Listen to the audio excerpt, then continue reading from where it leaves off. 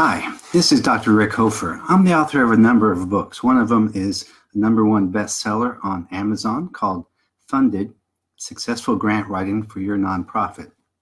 Another one, though, which is maybe why you're on this page to begin with, is called Advocacy Practice for Social Justice.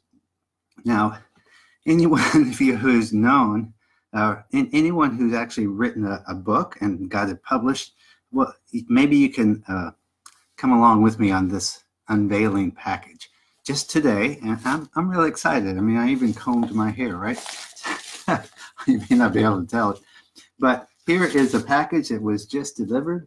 And, oh, I shouldn't show you my address, but there you go. Um, anyway, I'm opening it up. Let's see what's inside. I hope it's what I'm thinking it is. Otherwise, I'll feel pretty silly. Look, here it is. It's my new edition, the fourth edition of Advocacy Practice for Social Justice by Richard Hoefer. That's me. I'm so excited, and there are a number of things that are new to the fourth edition, um, including some personal experiences I've had as an advocate, uh, and even uh, personal experiences I had writing this new edition.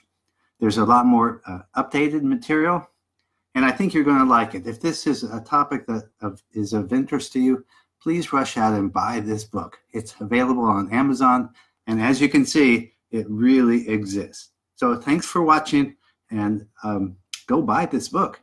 Thanks.